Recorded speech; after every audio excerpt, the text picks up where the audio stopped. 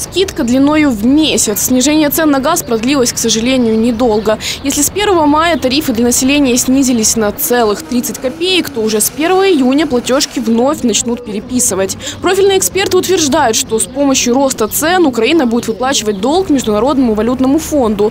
Таким образом, в погашении задолженности непосредственно поучаствует каждый украинец, который из собственного кармана заплатит за газ в государственный бюджет. Это повышение очередное цен, это деньги, которые надо отдать за границу, содрав их с людей.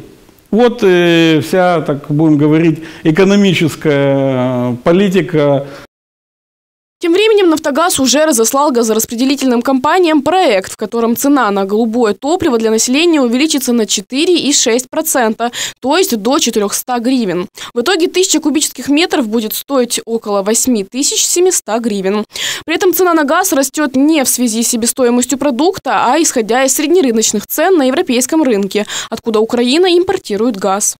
Они придумывают какие-то такие вот специфичные расчеты, что якобы изменилась э, рыночная цена на газ, и вот поменялась такая-то цена, она стала на 3 копейки дешевле, на 2 копейки дороже. То есть просто э, дети играются.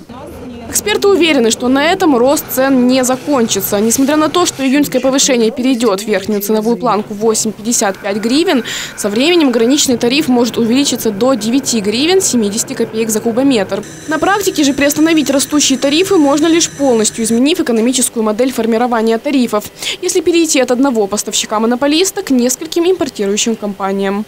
У нас должны быть разные поставщики, несколько, два, три, пять. И тогда, если поставки достаточно, вот пять поставщиков, они предлагают много, достаточно газа, они начинают между собой конкурировать. В мире таким образом складывается соотношение спроса и предложения, а главный закон рыночных условий – спрос и предложение.